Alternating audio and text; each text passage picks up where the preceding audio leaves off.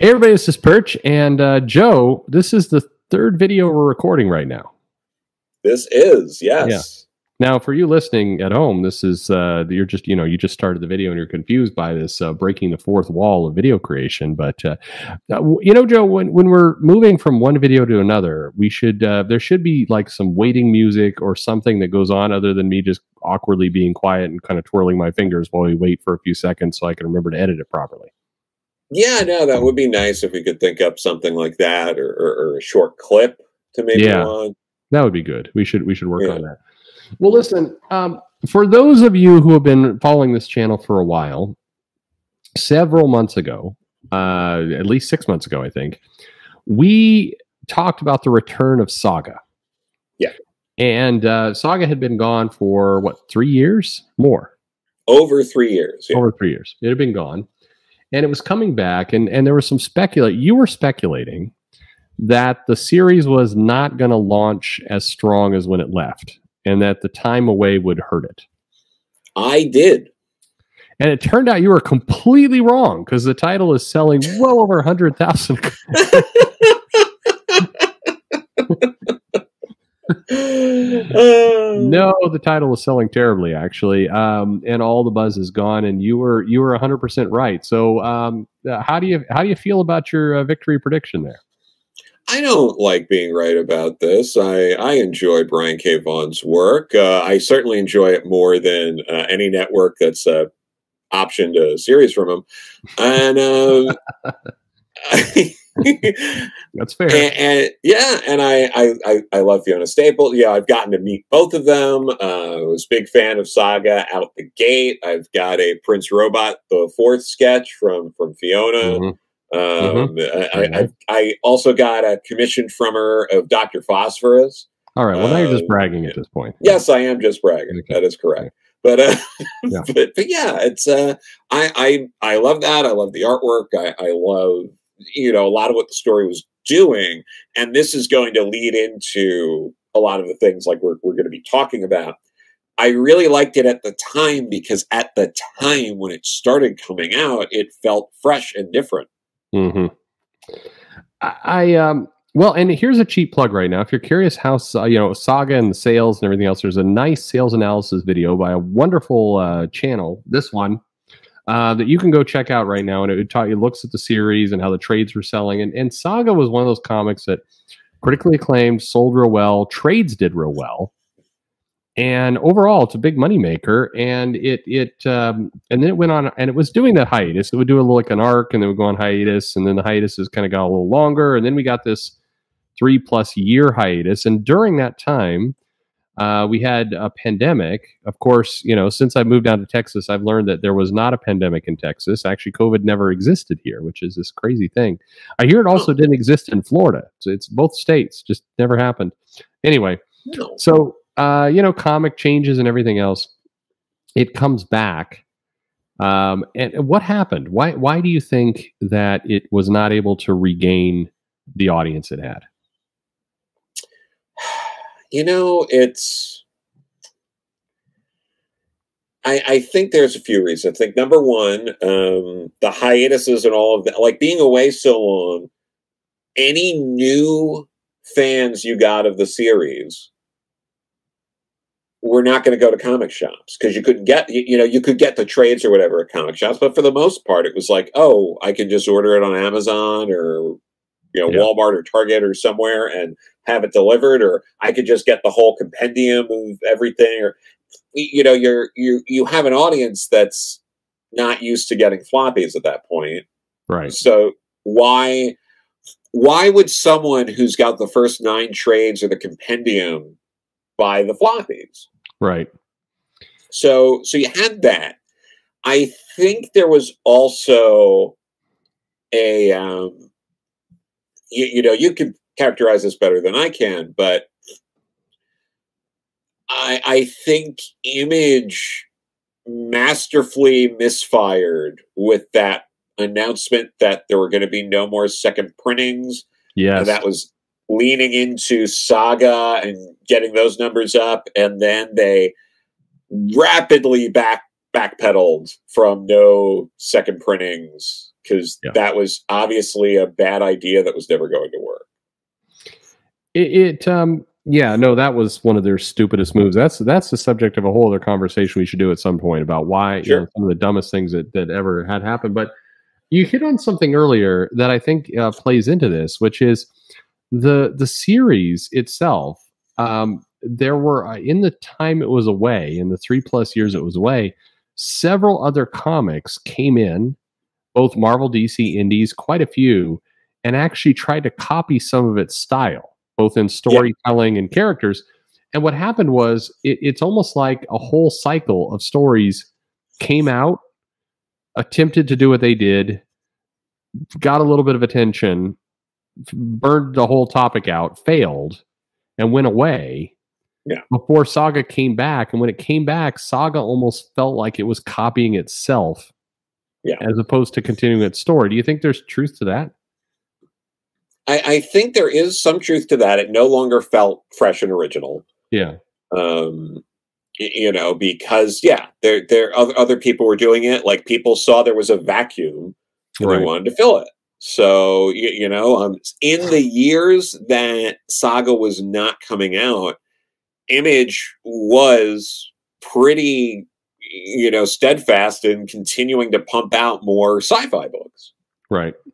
we've also seen just a change in the market like it's we still don't seem to quite know exactly where things are going but we have seen time and time again in those at this point like four years from Mhm. when it went on hiatus that star power in name creators is vanishing rapidly Yeah. Yeah, that's very true. Yeah. I, I so many things have happened. I think it'd be a, it'd be an amazing uh, when a couple. So the one thing we don't know, in fairness, is I don't believe we've seen the first trade. It's been solicited now, but we haven't seen the first trade of Saga come out since it's returned. Or or well the, the, the first trade's been out for about a month but- okay, okay, Here's the thing. It Yeah. is a number one bestseller on Amazon for, you know, image comics and graphic novels. As of right now, in the book selling ranks, it's 2,767. So okay. That's it's a good ranking. In, That's not that good. I mean, it's a not good- that good. I'm saying it's a good ranking for a graphic novel. coming out Okay, okay, okay. That's fair. you know but to give you an idea if we're just looking at image comics right now in the best selling sellers on amazon number two is it's lonely at the center of the earth. I genuinely don't know what that is. It's from zoe uh, thorogood. It might be very good. Um, but after that to give you an idea of how things have changed Number three is the first Invincible Compendium. Number four is the first Walking Dead Compendium. Number Oh. five is the second Invincible Compendium. Number six is the third. Number seven is the Walking Dead Compendium, Volume Four. Number eight is another Walking Dead Compendium. Nine, another Walking Dead Compendium. Uh, ten, uh, Monstress, uh, Volume Seven. Uh, Was it? Eleven's an Ed Brubaker book. Uh, Twelve, Radiant Black. Yeah. Um, 13 Paper Girls, the complete story. Um, then you get a Spawn Compendium, another Walking Dead uh, volume, another Walking Dead volume, Ice Cream Man, then Saga Compendium number one. Yeah. So it's the the buzz is gone. You know, the, the buzz, the, the buzz is gone for where Saga was. Yeah. Um, for anyone else, if you were just putting out an image book now and you were doing that, that's fantastic. Sure. However, Saga, the, the reason, like, you know, more, more casual people who might be listening to this might be like, these couple of jackasses are tearing down the, the number one selling image book on Amazon. They would never say that about you and me. Yeah. No, no one would ever say that. But it's all about context. And the context when it comes to saga, and we've talked about this before, you've Mhm. talked about this in many videos. Yeah, because I repeat myself a lot. Yeah, You you do, but Yeah. when when talking about Saga, it's like there was a time where the floppies were selling so well hmm it sold other books. that's right. You know, so maybe um, go into a little bit of that right now about how stores would talk about, like, oh, we would get these Saga customers, and then they might pick out other image books, other indie comics, things like that. It was an umbrella title, and that it, it, it to to your point, it sold other books. It sold itself, and it had a halo effect around other titles. Um, Saga was, you know, Walking Dead ending, uh, you know, ending, uh, Invincible ending. I think there was this moment where Saga was, without a doubt, Image's bigger biggest book, and it was one of those titles that it kept growing over time. It had a Walking Dead kind of feel to it, where the the it was continuing to grow. The trades were were doing very well. It it was kind of a it, it was their next generation of of leading title, and then the hiatus. uh, So now I guess we we talked about so there's a lot of books that kind of tried to copy its style. There was a you know the time it was away was longer than it should have been. By a lot. I think they said originally it was going to be a one year hiatus. Yeah. So it so it it had a feeling of it didn't it didn't come back and people thought it, it didn't feel to me like people were like oh my god I'm glad it's finally back. It almost felt like there was some irritation that was gone as long as it was. Is kind of the, the vibe I agree got. with that. I was irritated. I wasn't happy. Like like it, Mhm. I wasn't happy with how it was handled. I, I don't think a lot of people were. And the other thing that hurt, and we brought this up with other creators too, like um, Mhm. when um, and, and you know, not picking on people, just using these as examples because they're actual examples, and there are numbers that back this up. Yeah. But when Matt Fraction, Kelly Sue DeConnick came back and they did books at DC, Mhm. I mean, they hadn't really done a lot at DC or really much at all there. So, so already, you know, it's these new creators doing it, but they didn't have a footprint in comics for years when they came Right. back. That's right. They were gone for years, and there was nothing, nothing really big popped from that. Um, you Mhm. know, uh, Superman's pal Jimmy Olsen uh, got critical acclaim, but it Yeah, wasn't like fun. a Yeah. yeah, it was fun. It was uh, it was good, but but it didn't it that didn't end up with that buzz. It wasn't like when Sex Criminals came out and no one could shut the fuck up about Sex Criminals. And still can. Yeah, that, that book that book sucked in my opinion. But anyway, uh, for another time. But Hawkeye, Yeah. a title I also kind of think sucked. But anyway, um, I think it Again. sucked too. I, you know what? That was um I was meaning to talk to you about that because you had that video about like um what's what's a comic that everyone loves and you think sucks and we both agree uh, that Hawkeye. Hawkeye run sucked. I, I agree. I, I don't. I still don't get it. Uh, to some extent, I don't get the attention. I, I even comics that I don't particularly love. I can still usually understand why they're as popular as they are. But other than kind of David Aja doing some pretty impressive art, I, I do not get Yeah. At all that shit. But anyway, Yeah. be that as it may. Um, what about the case? So, so I think there's one other factor here that might have hurt it, Mhm. and that was a misunderstanding of the attachment the readers had to the characters. Yeah. And right before they went on hiatus, they basically revealed they were murdering one of the two main characters, the, Yeah. the dad, basically. Yeah. And I think that was meant to be kind of a fun twist. hmm Do you? Th- I, I, uh, people I've talked to were legitimately pissed off at that moment. hmm And even though the title was kind of narrated by uh, the the girl, the daughter, um, they still had a, a that was kind of the favorite character getting killed. Do you think that Yeah. also had an impact? Oh, absolutely. I've yet to meet a single person who loves Saga that didn't consider him to be one of, if not their favorite character in the book. Yeah. And um, repeatedly, people are like, you know, including myself, it's like Hazel's not a character; she's a narrator. She's a Yeah. baby who just exists. So aging her up, no one like like again, this is all a complete misfire, misunderstanding what what people have grown to like about a book because again, she wasn't a character. Right. And now that she's a character and she's here, like I don't care about this. Like she was, ne- she's not the interesting part at all. Right. Uh, and and yet now she's kind of like the driving force of the book. She is, yeah, she is the driving force uh, behind the book, and they're also, um, you know, the promise is that they're going to allow us to see her going through puberty, and and I, I mean, I, I didn't, I don't know that I want to see the narrator go through puberty. I, I don't know why. I don't know who who does want to see that. No, I don't get it. I, I don't like, but why? I mean, well, I mean, uh, yeah, I, I can't think of anyone. Gerard Jones definitely wouldn't. Jesus Christ. well, there you go. Uh, let's see what uh, Cameron Stewart thinks of this. Uh, anyway,